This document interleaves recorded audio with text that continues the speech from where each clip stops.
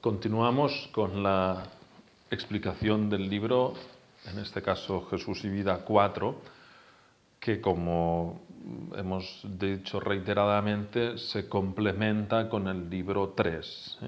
Si en primero y segundo se trataban todos los contenidos de una forma muy elemental, muy introductoria, en el libro 3 y 4 es la primera exposición más sistemática que se hace de los contenidos de la fe. Vimos cómo en tercero se hacía a partir de una narración de la vida de Jesús y en cambio en cuarto eh, tratamos dos, bloques de contenidos en paralelo. Mm, es, como si hubiera dos hilos conductores. Por una parte, eh, una formación moral siguiendo mm, cada uno de los mandamientos, después explicaremos de qué manera, y otro grupo de contenidos que se titula Las verdades de la fe, en el que vamos repasando el contenido del credo.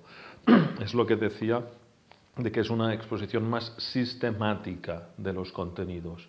Estos mismos contenidos, algunos mandamientos, algunos, algunas verdades de la fe, ya se habían tratado en el libro de tercero, junto a algunos sacramentos, junto a algunos mm, enfoques de la oración, en relación a la vida de Jesús.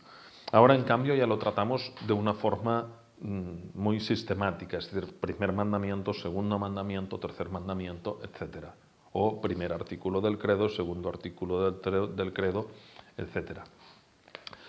Pero ¿de qué manera se hace esto? Empecemos con el apartado que se titula La luz de los mandamientos. En el apartado de la luz de los mandamientos, que es el primero, son siempre cuatro páginas que siguen siempre la misma estructura.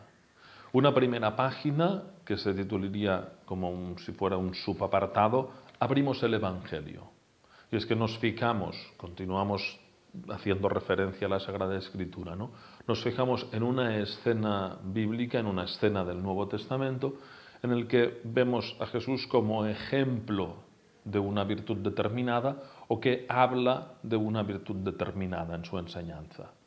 Eso nos da pie a pasar en la siguiente página a hablar de un mandamiento específico, es decir, qué es lo que enseña ese mandamiento, qué bien protege, qué manda, qué prohíbe, por qué, etc. Y en la siguiente página, mm, lo que es, es un planteamiento como más más constructivo todavía, que sería hablar de una virtud, una o dos o tres virtudes equivalentes a los bienes humanos que protege este mandamiento. ¿no?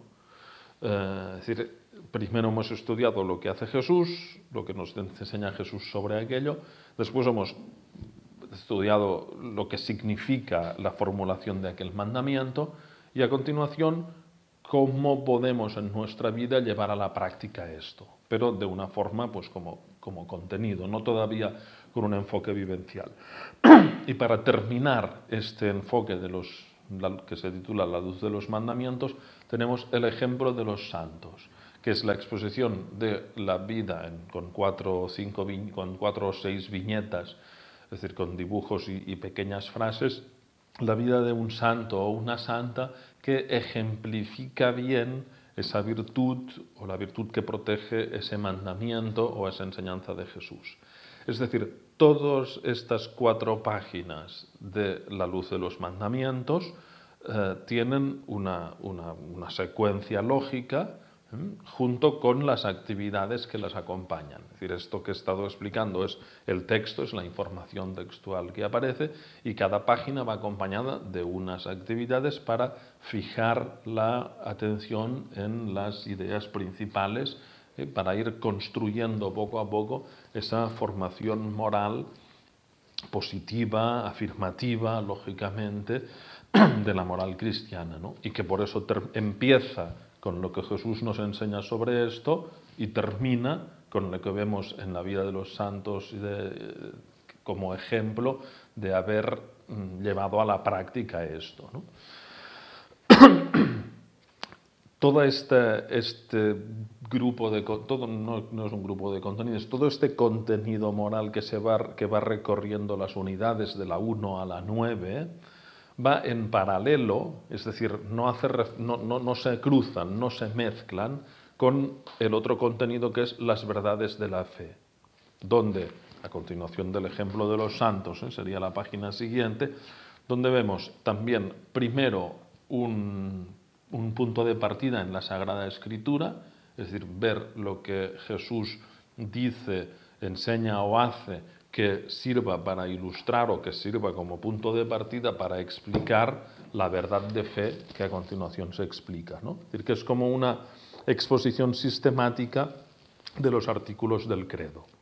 Adecuado todo ello, tanto la enseñanza sobre la, la moral como esta enseñanza más, más doctrinal de, de, las verdades de la fe, adecuado lógicamente a, las, a la edad madurativa de los alumnos. ¿no? Es, decir, que es una, forma muy, muy elemental porque estos mismos contenidos, tanto la formación moral como la formación eh, dogmática, digamos, de las verdades de la fe, mm, la, la volverán a tratar después o en quinto o en sexto, pero de una forma todavía más desarrollada.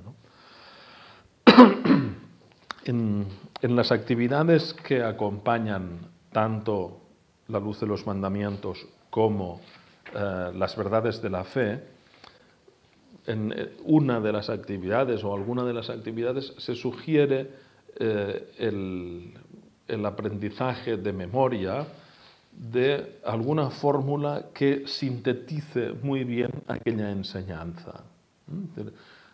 Todo eso que hemos trabajado, que hemos explicado de una forma teórica, que la hemos ejemplificado con la vida de un santo, de una santa, que hemos visto la enseñanza de Jesús, que hemos hecho actividades en torno a ello, se podría al final sintetizar para memorizarlo en una fórmula, en, una frase breve, elaborada, mm, ¿eh? muy, muy sintetizada, digamos, para si se memoriza, para que eso vaya creando como un bagaje. Al final del libro, hay, en un anexo, están todas ellas, todas estas formas de preguntas y respuestas, como un catecismo, eh, están todas agrupadas. Están agrupadas no en el orden en que aparecen en el libro, sino mm, siguiendo la distribución del catecismo de la Iglesia Católica. Y en este anexo se reúnen tanto las preguntas que ya hubo en tercero como las que hay ahora en cuarto. De esta forma, al, reconocerlas todas juntas al final del libro, comprobamos que todo el contenido del catecismo realmente se ha tratado entre los cursos 3 y 4. Lógicamente, en adecuado, como ya he dicho antes, a la edad de los alumnos. Estas preguntas es imprescindible aprenderlas. Mira, yo pienso que esto depende mucho del, criterio de cada, de cada, escuela. Lo que, si, se me permite hacer ahora, esta, abrir este pequeño paréntesis o esta referencia. ¿no? La memoria es buena y es necesaria en la formación religiosa si se utiliza bien. En la formación religiosa y en cualquier otra materia. ¿eh? La memoria es una capacidad humana extraordinaria de nuestra inteligencia, que la necesitamos mucho, que es necesaria para muchas otras competencias, que si no se usa se atrofia. Pero lo que no puede consistir la enseñanza, la educación, es simplemente aprender de memoria.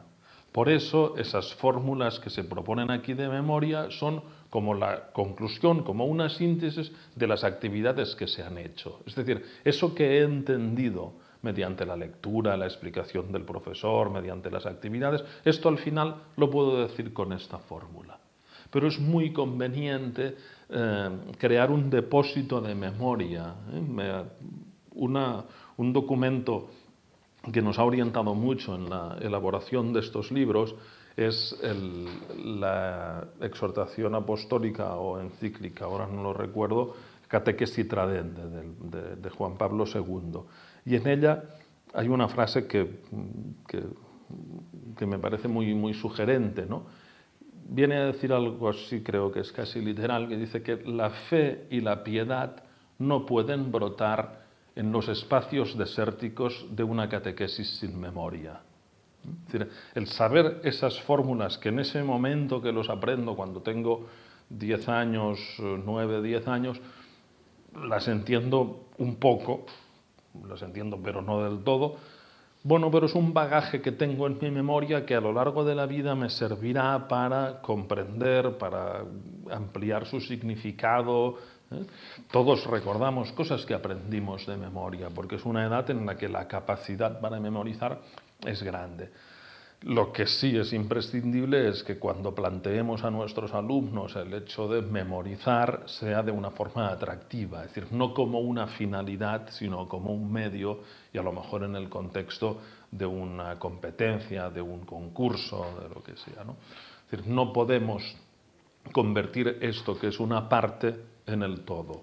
¿Por qué subrayo esto? Porque a lo mejor antiguamente este enfoque de la catequesis se había y en algunas ocasiones todavía ocurre que se reduzca mucho la catequesis a la pura memoria y esto es muy empobrecedor, pero también sería muy empobrecedor prescindir totalmente de la memoria.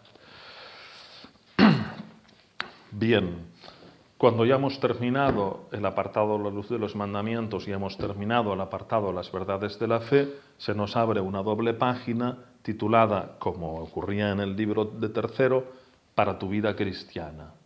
También ahí se hacen propuestas de crecimiento eh, en las virtudes y crecimiento en la piedad en relación a los contenidos que se han tratado. Es decir, según las verdades de la fe y según los mandamientos que se han tratado, se proponen unas, unas informaciones más que unas actividades, ¿eh?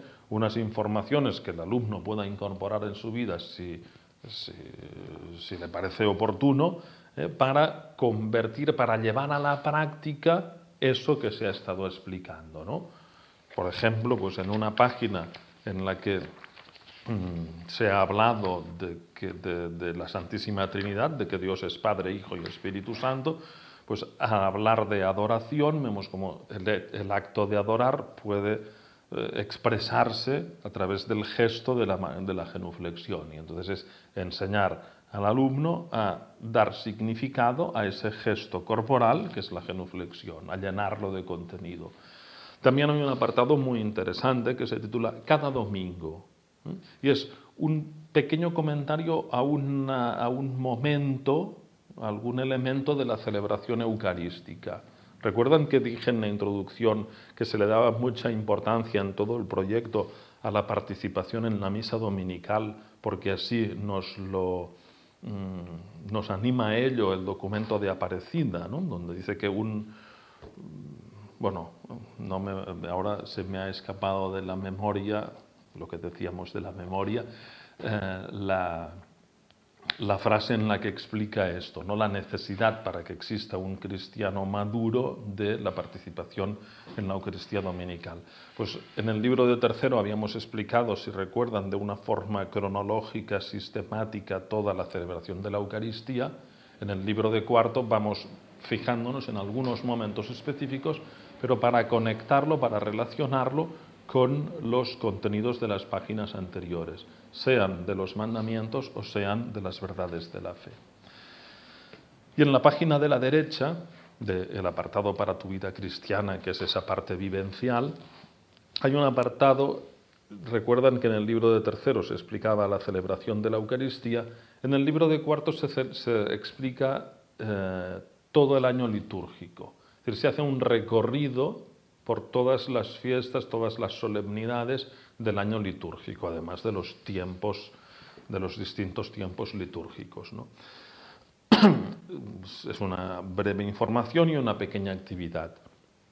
Aquí lo importante es, y eso es importante que los profesores lo tengamos claro para usar el libro de una forma apropiada, es que no hay que esperar a llegar a esta página para tratar este tema Hace falta a principio de año, pues con un sentido de responsabilidad, sacar la agenda, ver el calendario escolar y ir colocando en la agenda, en el calendario escolar, todas estas fiestas y solemnidades que aquí se tratan.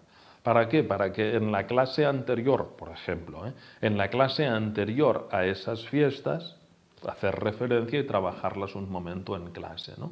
Es un, material que está allí, un recurso que está allí, pero para administrarlo, para usarlo en el momento oportuno del año.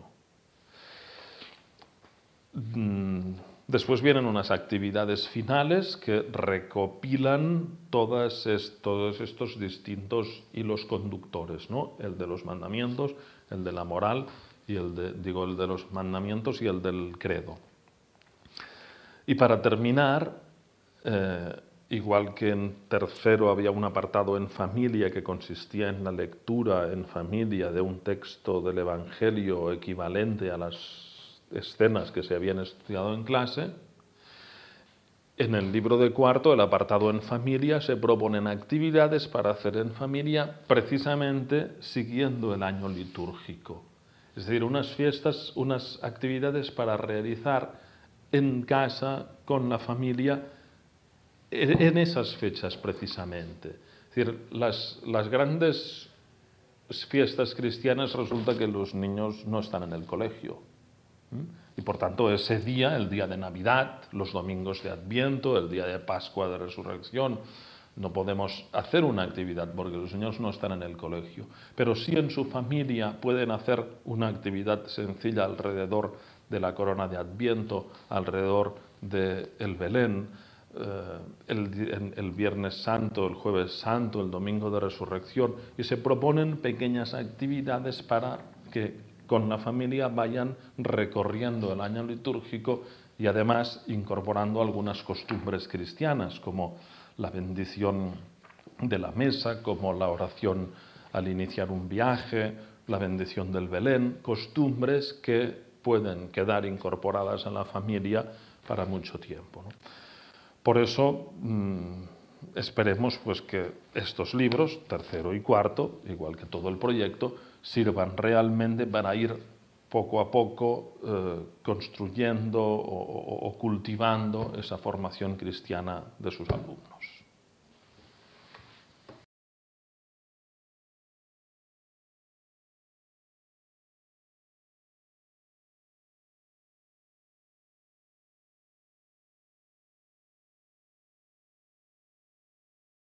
Quería sugerirles una metodología, digo porque lo que he explicado tengo la sensación de que en algún momento puede parecer algo teórico o que se haya quedado únicamente en palabras.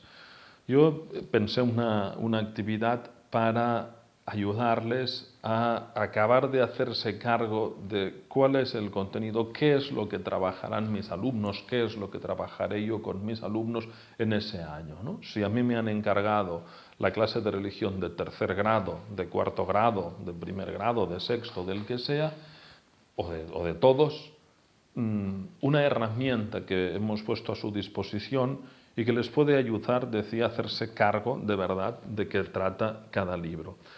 Se trata de unos cuadros que ustedes los tienen, según me dicen, en su, página web, que se lo pueden descargar y es importante lo que voy a decir ahora, para imprimir en A3, en DIN A3. ¿Por qué?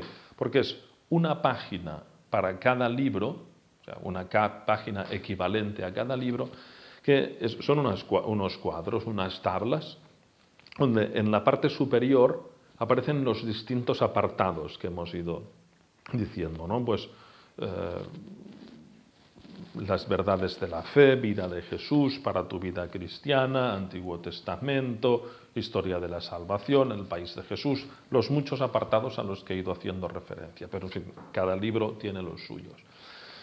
Eso sería la parte horizontal arriba y en vertical a la izquierda aparecen las distintas unidades.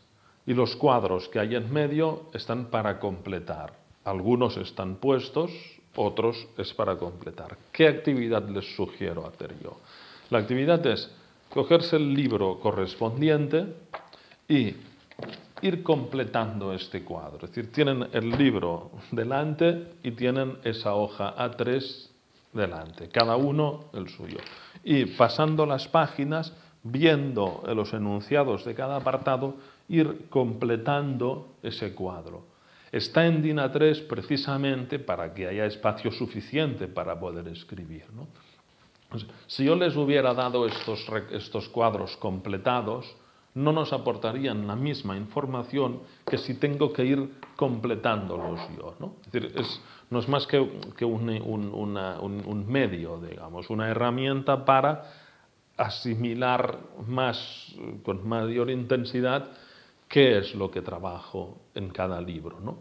Porque pienso que en la medida en que tengamos una visión muy global, muy de conjunto, de qué es lo que yo trabajo este año con mis alumnos, después iré a clase como con una mayor convicción, como con una mayor seguridad de qué parte estoy haciendo. Porque lo que yo hago en la clase de religión hoy eh, es una parte del todo que es este año, pero además es una parte de un todo todavía mayor que es el conjunto de la etapa. Que por eso podemos hablar de un proyecto, ¿eh? de un proyecto, porque siguiendo unos criterios que expliqué al principio, desde primero hasta sexto, mm, van desarrollando la formación cristiana y católica de nuestros alumnos. Por eso esa herramienta es útil para su propia formación.